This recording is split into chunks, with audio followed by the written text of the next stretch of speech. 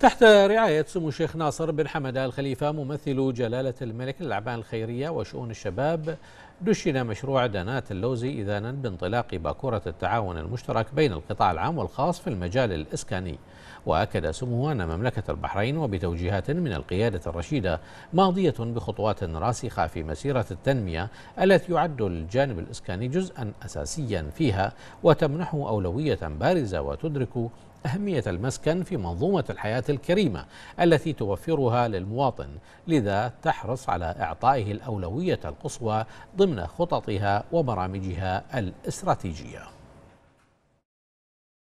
أكد سمو الشيخ ناصر بن حمد الخليفة ممثل جلالة الملك للأعمال الخيرية وشؤون الشباب أن مملكة البحرين بقيادة حضرة صاحب الجلالة الملك حمد بن عيسى الخليفة عاهل البلاد المفدى حفظه الله ورعاه. تقدم المبادرات المتميزة الرامية إلى تحسين المستوى المعيشي لجميع المواطنين وتحقيق التنمية المستدامة والذي يأتي في طليعة الأولويات والاهتمامات لتوفير السكن الملائم لكافة المواطنين بهدف إكمال الحياة الهانئة وتوفير العيش الكريم. مشيرا سموه أن توجيهات ورؤية حضرة صاحب الجلالة الملك المفدى حفظه الله ورعاه تؤكد دوما أهمية تسريع العمل والإنجاز في المشاريع الإسكانية التي تلبي المتطلبات الإسكانية للمواطنين المستحقين باعتبار المواطن هو دائما محور التنمية وأساسها ومتطلباته ستبقى أولوية مهمة لتوفير المزيد من الحياة الكريمة للمواطنين كافة. جاء ذلك خلال رعاية سموه مشروع دانة اللوزي إذانا بانطلاق بكورة التقاون المشترك بين القطاع العام والخاص في المجال الإسكاني بحضور سعادة وزير الإسكان باسم بن يعقوب الحمر والمسؤولين والمستثمرين والمهتمين بالشأن الإسكاني والعقاري في المملكة.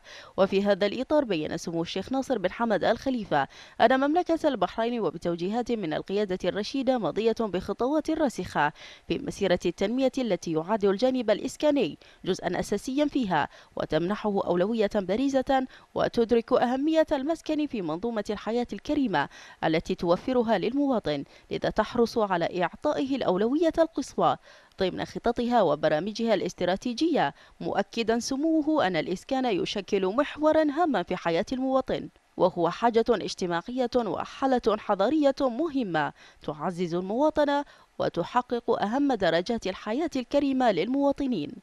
وأشار سمو الشيخ ناصر بن حمد الخليفة أن المشاريع التنموية التي تقوم بها مملكة البحرين تستهدف بناء مجتمع مترابط وراسخ ينعم بمقومات الحياة الكريمة ضمن بيئة مستقرة ومحفزة على العمل والبذل والعطاء في سبيل الارتقاء بالمملكة وتوفر كافة الدعم والمساندة لأبناء الوطن.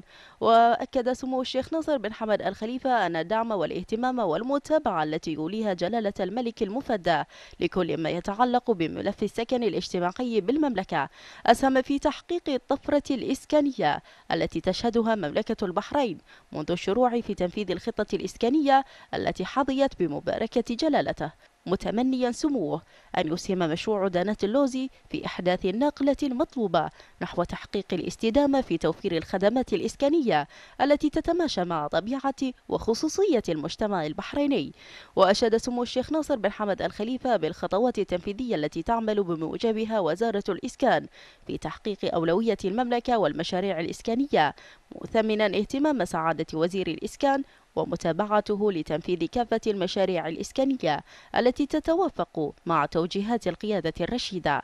من جانبه أكد سعادة وزير الإسكان رئيس مجلس إدارة بنك الإسكان المهندس باسم بن يعقوب الحمر على أن مشروع دانات اللوزية في إطار سياسة الترويج لمشاريع السكن الاجتماعي التي يحرص بنك الإسكان على أن يكون له دور أساسي في ابتكار وتوفير الحلول الإسكانية والتمويلية أمام المواطنين وخصوصا المستفيدين من الخدمات الإسكانية باعتبار أن البنك يعد شريكا رئيسيا في خطط وبرامج وزارة الإسكان الرامية إلى تنويع الخيارات وملائمتها مع متطلبات الأسرة البحرينية للحصول على الخدمة الإسكانية المناسبة. أتشرف بأن أتقدم بجزيل الشكر والامتنان إلى سمو الشيخ ناصر بن حمد آل خليفة على تشرفه بزيارة هذا المشروع الواعد وتدشينه في واقع الأمر. وهذا المشروع طبعا دانات اللوزي يعتبر شراكة ما بين بنك الإسكان وأحد المطورين ويندرج تحت المشاريع التي نطلق عليها مشاريع القطاع الخاص وتساعد في حصول المواطن عليها من خلال برنامج مزايا. كما أكد مدير عام بنك الإسكان الدكتور خالد عبد الله أن مشروع دانات اللوزي قد أقيم بعد دراسة متفحصة ليلبي طلبا متناميا على السكن اللائق وجعله خيارا جاذبا أمام الأسر البحرينية. بالنسبة لنا هذه باكورة شراكات آه، البنك مع القطاع الخاص في المشاريع الإسكانية اللي تخدم آه، توجيهات القيادة تخدم الملف الإسكاني من حيث أنها تخلي وحدات سكنية متميزة في متناول آه، المستفيدين من الخدمات الإسكانية ممكن يقدمون عليها. مشروع دانة اللوزي يضم أكثر من 300 فيلا تتميز جميعها بتصاميم متوافقة مع متطلبات العائلة البحرينية العصرية ووفق أعلى مستويات الجودة. حيث رعيت فيها معايير الاستدامة الاقتصادية والاجتماعية والمحافظة على البيئة حيث يوفر المشروع سبعة أنواع من الفلل بتصاميم مختلفة.